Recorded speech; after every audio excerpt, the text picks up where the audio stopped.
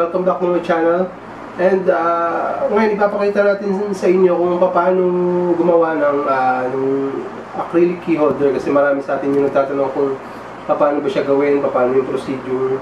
Kasi nung sinare ko siya sa, sa group, so marami nag-comment kung paano ba daw gawin, ano, yung mga kailangan. So ipapakita natin sa inyo step by step uh, kung paano siya gawin. and yung mga gamit na kakailanganin natin. So, kailangan lang natin is syempre yung, yung acrylic plate. Yung acrylic plate.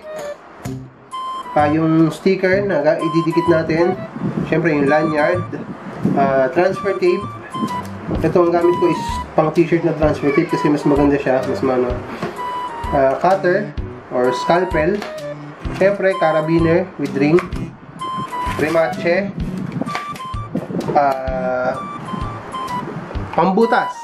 Hindi naman kailangan na ganito yung pambutas nyo. Kung may soldering iron kayo, pwede din yon. So, sa case ko kasi ito yung lagi yung ginagamit ko kasi mas nadadalian ako sa kanya. And, Remachi press. Kaya kung wala kayong Remachi press at mm, wala pang budget para bumili, makakabili kayo ng die. Itong, ito, itong die tsaka to. So, ginagawa ng iba, pag bumili sila nito, is pinupokpok na lang nila papatong nila dyan yung, yung lanyard na may rematch eh, din ipapatong nila ito, pupukpukin nila. Pwede naman yon So, pero ang may sasuggest ko sa inyo, kung may budget kayo, mag-invest na kayo dito sa rematch press.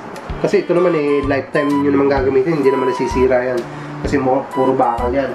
So, tatlong, tatlong style yung gagawin natin. Uh, itong itong isa, yung sticker na maliit lang, doon sa harap nung, nung plate Uh, this, this is print out. Tapos yung isa is cut out ito, cut out sticker. Yung mga walang printer pwede po. Basta meron kayong platter, cut out sticker. Oh, tapos ito yung print out, kailangan waterproof siya. O pwedeng pigment. Pero kung may aerosol kayo, mas maganda.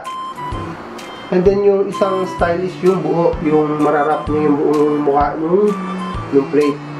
So may template tayo nito, uh, available naman sa atin yun. Kung, mag, kung gusto niyo ganito gawin niyo, pwede kayong mag-request sa akin ng template, send ko sa inyo. Or pwede ko rin ilagay sa link sa description. Uh, ilagay ko yung link sa description. So yung mga hindi pa po nakaka-subscribe, subscribe muna kayo. And uh, don't forget to hit the bell icon para po updated kayo sa mga susunod pa nating mga video na gagawin. Medyo madami-dami pa tayong content na gagawin medyo hindi lang kami makapag-shoot uh, ng madalas kasi nga busy rin kasi may business din tayo yung printing natin kasi. So yun, hindi tayo masyado makapag-shoot na ano. pero ngayon, uh, ipapakita ko sa inyo kung paano yung paggawa. So simulan na natin. So unang-una kunin, kunin yung acrylic plate. And then yung protective sheet niya, yung papel tutuklapin natin yung unang uh, ano muna, unang side muna So, itong side lang muna ang tutuklapin natin. So, yung, yung sa ibabaw, laging itong may mahabang butas ang sa ibabaw. Eh, kasi dito ilalagay yung ring. Ito yung sa ilalim, yung may tatlong butas. So, once na napakpak na natin siya, kunin na natin yung sticker. Sige, ang una muna natin gagawin is ito. Itong print out. Pwede natin siyang gamitan din ng transfer tape para mas madali natin may align. So, kunin lang natin yung transfer tape natin. And then, idamputin natin yung sticker. Pag nadampot natin yung sticker gamit ang transfer tape, pwede na natin siyang i-align dun sa sa ating acrylic. So, pag na-align na natin siya, mas maganda kung yung isang, yung isang tab nyo nandito malapit sa gilid. Once na-align na natin siya, pwede na natin idikit tong isang side. Ayan. Once na-idikit na natin isang side, hagudin lang natin yung sticker papunta dito sa eh, kabilang side. Uh, para siguradong walang bubbles.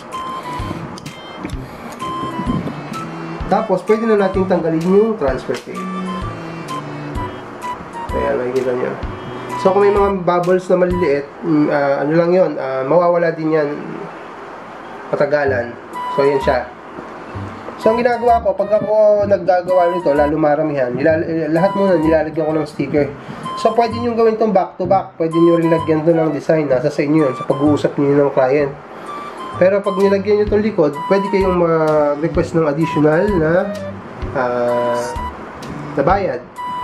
O, like for example, mag-add kayo ng 5 pesos, pwede na yun.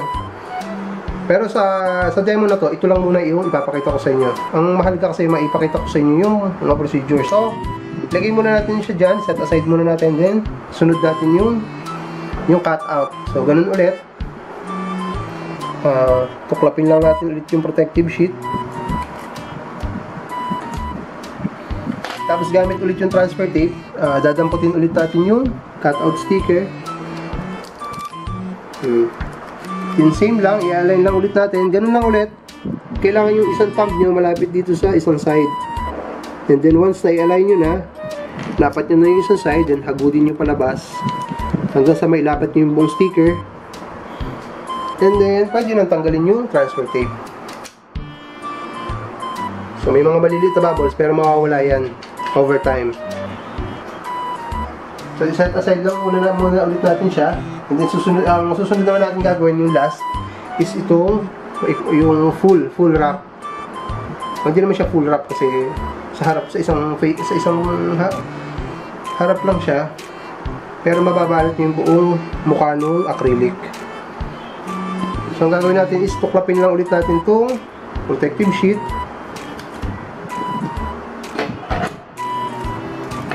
Tapos, ah, tuklapin natin itong sa, eh, pwede rin, depende sa inyo kung saan kayo komportable magtuklap sa taas o sa baba. Pero ako, mas komportable ako sa baba. Kasi mas madami akong reference kasi yung tatlo yung butas. So, kailangan pala natin ng ah, gunting. So, Alexa, pero nga ng gunting. Alexa, alam mo ng gunting? Ayan nga. Ay, si Alexa ko. Masuno rin. So, cut natin yung kalahating backing. And once na nakat na natin, pwede na nating i-align yung sticker dito sa acrylic. So, i-align lang natin siya, ganyan. Sipatin lang natin, i-eyeball lang natin. Oop, dumikit. Ulit. Kailangan wag, di, wag muna siyang didikit. Kailangan may align natin siya na maganda. Medyo ano lang ako. So, yan. Pag mm, sa tingin nyo, ah, maganda na yung pagkaka align nyo, pwede natin ilapat tong side na to. Yung may binakbak, pinagbakbakan natin ng backing. And then, pwede na natin tanggalin yung backing. Yung natitirang backing. And hagudin naman natin siya pataas. Ayan. So, hindi siya perfect. Ulitin natin. Medyo ano to, medyo challenging itong ano na to kasi kailangan kasi walang lalabas sa part nung black na acrylic. Pero once naman nakuha nyo, nagamay nyo na, madali na yan.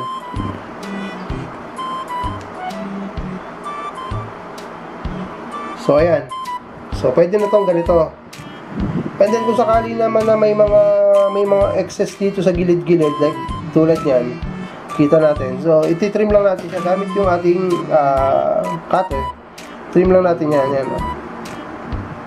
Trim lang natin yung mga excess.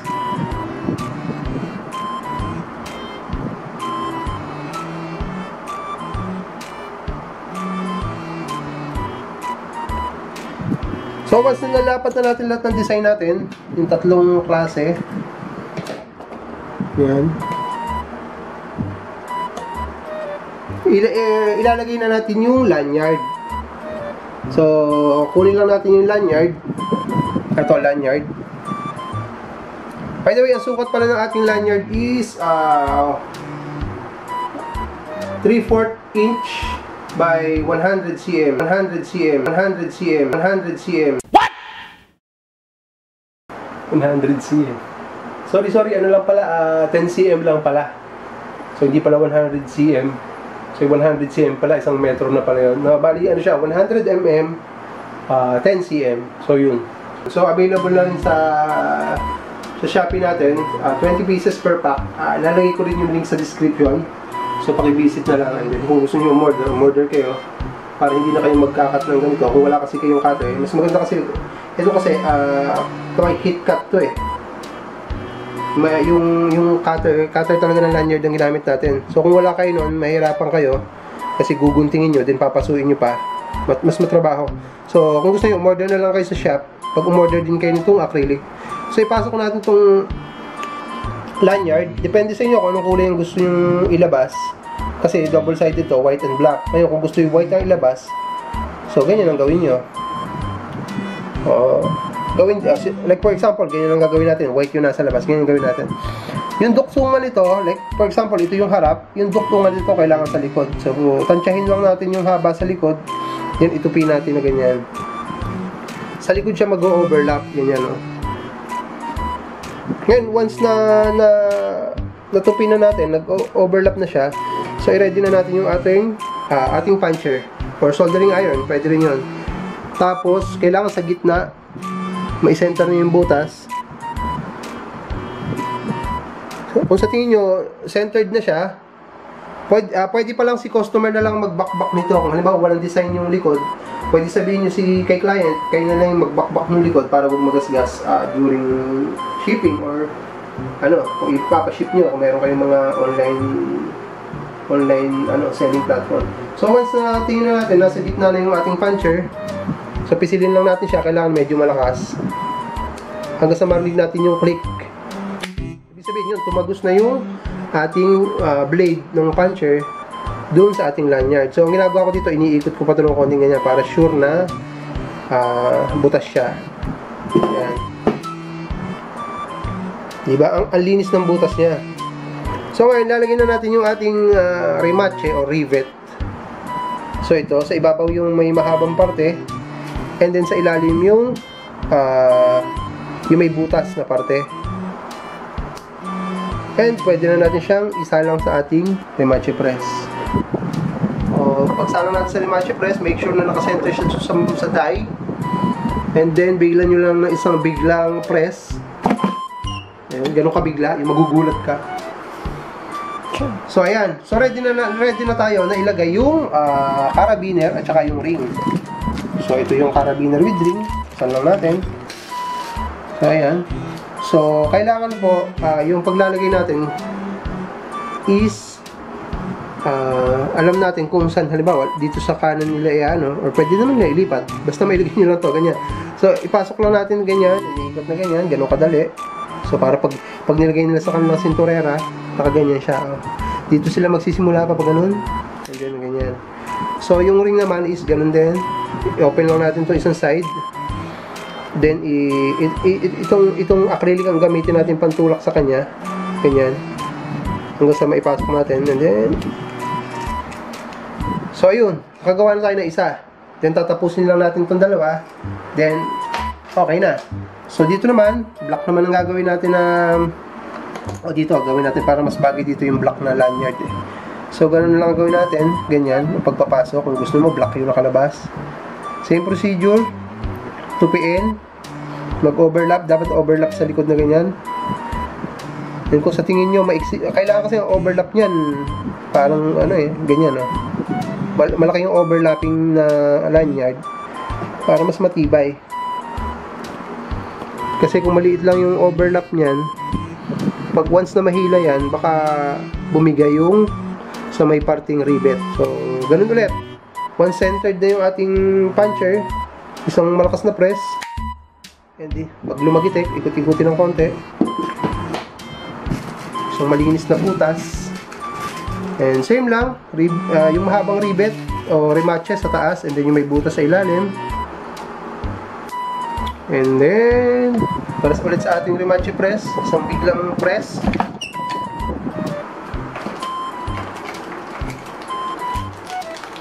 Carabiner with ring. And by the way, yung mga carabiner na to, depende kasi sa area nyo kung saan kayo makaka-order. So online, marami namang nag, nag-o-offer nito. Pero, huwag din kayo basta-basta kung halimbawa may ma-orderan kayo na ganito, huwag kayong order na madami. Check mo muna yung quality. Kasi dati naka-order ako sa sa Divisoria online yun, may, may Shopee store sila. So by tens yung benta nila doon. So umorder ako ng madami. Okay, ang inaakala ko kasi ganitong quality siya.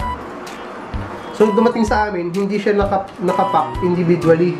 So naka, parang meron ng cardboard tapos naka, naka-clip tong mga carabiner sama-sama yung 10 piraso. So nangyari, Siyempre, sama-sama siya doon, nag, nag, ano siya, nagkikis-kisan siya doon sa plastic. Anong nangyari? Puro gas-gas yung carabiner. So, pwede kayong umorder nito kay Pop Trade or kay Photolock. Meron silang ganito.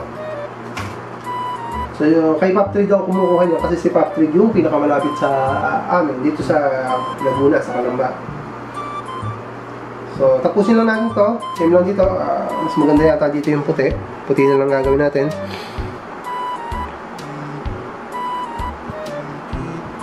Mm, so, marami pa tayong mga susunod na content. Abang-abang lang kayo. Hindi lang talaga kami makapag, ano kasi, so, naging sobrang busy kami. Halos walang maayos na tulog. So, isisingit natin yung paunti-unti ang ating uh, content. So, so malakas na press. Click. Isa pa. Pag hindi natin maikot, ibig sabihin, hindi kasi tumagos dun sa kabila. Yun. Yan, naikot na natin. Yun, tagos siya. Same lang. Pivot na mahaba sa ibabaw. Parimache. Yung may buto sa ilalim. And then, sa mga biglang press. So, kaya sabi ko dapat bigla kasi ito nababali ito pag dahan-dahan. Mo, centered to pero hindi to centered kasi na-misalign siya nung pinrest natin. So, okay lang yan. Hindi naman masyadong ano yan, pansinin niya. Pero kung mitikuloso ka, pwede natin ulitin yan. Pero for the sake of this demo, hindi na. So, yun lang siya. Pwede nyo na siya lagyan ng magandang packaging para mas appealing siya kay customer, no? Pwede kayong magsabit sa inyong mga shop. Like that. So, yun, ipakita ko na sa inyo yung tatlong klase ng ah, sticker na pwede natin gamitin kay hindi naman necessarily kailangan holographic. So, kung anong um, sticker um, available meron sa inyong shop, pwede nyo siyang gamitin. And kung ano rin yung, ah, kung halimbawa, kung ano yung gusto ni client, yun ang, yun ang gawin nyo. So, yun lang, ganun lang naman kadali, ano, yung mga gamit, ah, pwede naman, tulad, sabi ko nga, ito, pwede namang wala nito, pwede yung soldering iron. Pero yung soldering iron kasi nasa, magkano din ito, makakabili kayo dito sa Shopee, 100 plus lang, siguro mga 150, meron na kayo nito. Tapos ito, ito lang medyo may kamahalan, yung 1,700 to, pero sabi ko nga, ah, one-time investment yan, and ah, ma, maagagamit pa yun ng kaapu-apuhan nyo. Kaya magandang investment din yan. So, yun, know, ayun lang, no? Sana na na-explain ko na maayos kung paano siya gawin and ah, yung mga order nyo, ah, sa Shopee na lang, pero ilalagay natin yung link sa description dun sa sa ah, sa acrylic and sa lanyard. So, yun lang, maraming maraming salamat. Happy printing and ah, more power sa inyong mga business. And ano lang kayo, subscribe para sa mga susunod na mga videos. Maraming salamat. Bye-bye.